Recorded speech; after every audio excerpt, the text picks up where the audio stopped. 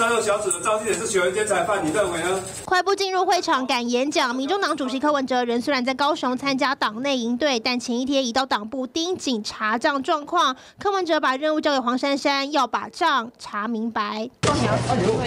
上午十一点多，黄珊珊到党部出席记者会前会，要化被动为主动，但柯主席赋予黄珊珊做负责人，被认为在下指导棋，因为有中评委直言应该开除黄珊珊党籍。柯文哲这一指令似乎可见保黄珊珊结局。想到被立主就是当时的蔡壁如，那时候的论文案就显示，你没有立委的身份，你还是可以上后啊。曾经党内权力核心感叹双标处理，也有前幕僚透露，二零一八年选前两天公开收支经验，如今却不见当年 SOP。常常在讲说什么中评会是这个共同的决议、集体决策，但实际上我相信这个决策要做，还是要看皇上的脸色而定嘛。所以今天皇上看起来，现在看起来是没有打算要做这样处置。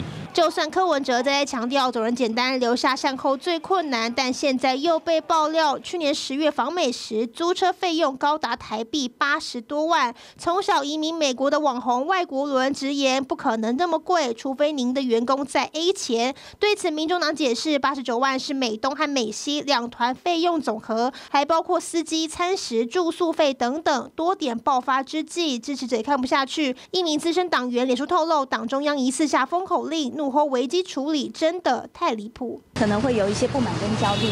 那做的不好的地方，我们也会检讨。是啊，真的假的？对呀。经营夹娃娃机副业的百万网红草爷，曾在大选前和柯文哲合体拍片，没想到当时抽奖活动闹争议，将这回柯文哲申报疑云。短短一年，全台首间店面也收摊，政治现金风波，支持者也没能躲过。T V 线徐俊宏、谢有良、佩伟韩超报道。